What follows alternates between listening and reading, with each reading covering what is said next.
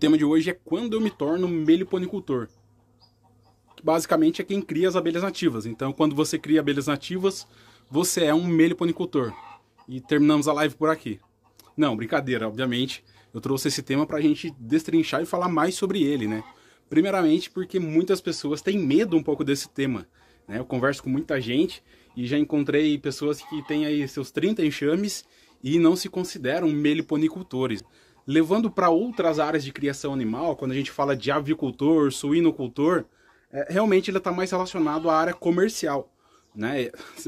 Eu, eu ainda não, não dei um nome para essas lives, mas provavelmente vai ser as lives das galinhas, né? Porque é, o horário que as galinhas estão, uma parte delas estão botando ovo aqui. Brincadeira, ainda vou, vou pensar num nome para essas lives. É, então, com essas outras, eu tenho algumas galinhas aqui, eu não me considero um avicultor. Né? Geralmente é quem tem os galpões e tudo mais, é mais uma criação caipira. Mas a meliponicultura, o meliponicultor, ele já está atrelado, né, dado as características da criação, ao histórico da criação, a uma criação pequena. Né? Então, quando a gente fala meliponicultor, não é só o comercial. Né? Tanto é que a maior parte das pessoas divide, eu gosto de dividir também, entre o robista e o comercial. Né? O robista que cria apenas por hobby, as abelhas ali como um pet ou não, tem gente que não gosta dessa nomenclatura, mas acaba sendo. A gente tem ali por bonito e também por, por conservação. Né? Outros dividem entre é, em mais uma seção, né? O meliponicultor conservador, preservacionista, mas isso eu acho que tanto o robista quanto o comercial se enquadram nisso. Então, geralmente eu divido só em robista e comercial. Né? Então, o meliponicultor serve para os dois. Se você quiser dividir, você fala que você é robista ou que você é comercial. Mas, é, então, o meliponicultor é quem cria abelhas a partir de um enxame. Carlos, tem um enxame no muro, eu sou meliponicultor?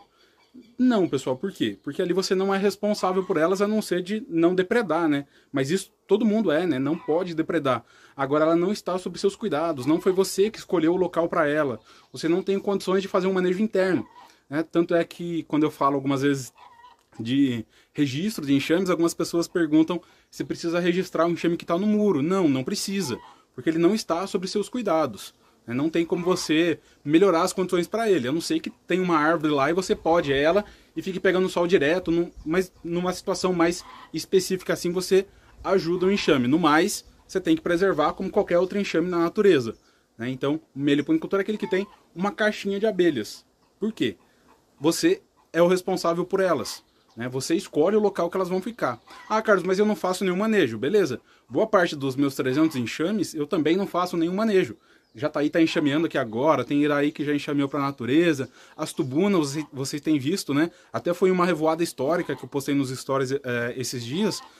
Revoada por todo o meliponário, os enxames indo para a natureza. Porque eu não tenho feito manejos, a não ser uma ou outra coleta de mel. E vários enxames eu nem coleto mel também.